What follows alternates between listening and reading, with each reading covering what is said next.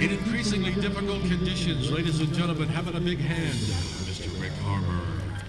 No wind here in the monument. We have to make the kites fly. Again, be reminded throughout the day that uh, if you want to be involved in the kite makers competition, kite making competition, sign up over at the staff tent from 11 o'clock until 1. You have until 12.30 to register.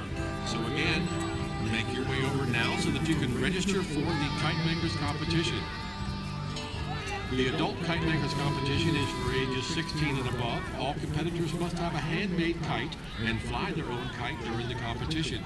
Kites will be judged by a panel of experts, and we're going to have prizes awarded on the field this afternoon. He's tangled up in his kite.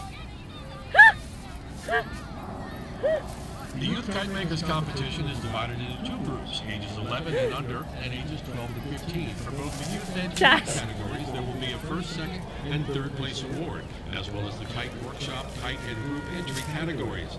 You must make and fly your own kite. The awards for the Youth Kite Makers competition will be presented on the family field immediately following the competition. The youth, the youth kite makers competition will begin at 11 a.m. Registration will close at the beginning of the competition. So again, make your way over to the tent and sign up for the adult kite makers and the youth kite makers competitions. We're going to welcome another of our amazingly talented kite flyers out onto the field. We're going to pick out a special piece of music as we're going to give you examples of sport kites being flown to music. This way It's not about. flyer's choice. Sometimes, and sometimes we pick the music for them. And that, uh, that lets you see just the just, just the uh, extent of their talent. We'll get a piece, uh, piece of music queued up here.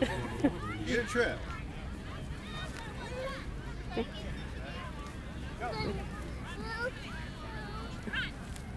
Careful.